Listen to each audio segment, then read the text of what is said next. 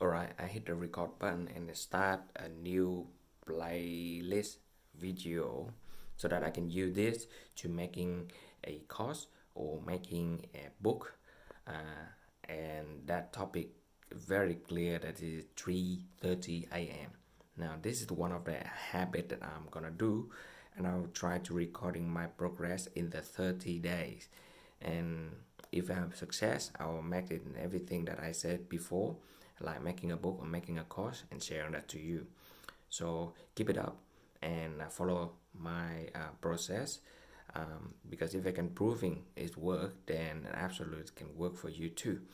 So the reason I, I do this uh, I, I need to wake up at 3.30 because I'm a, um, a father of two in the family you know.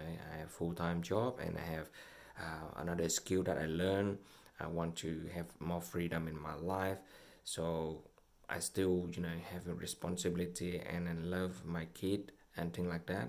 And I still have to uh, stick my time stick my day with them. So I seeing that you know morning routine is very important. So I, I need to build that up. All right so this is the first day. I will make every every video in two minutes. So welcome to the first day.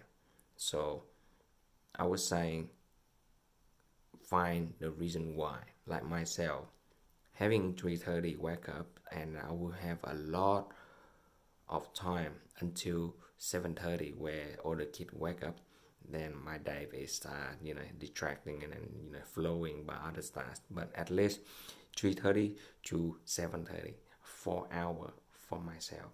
Guess what? Four hours for a week how many you have like nearly half of work week. See you tomorrow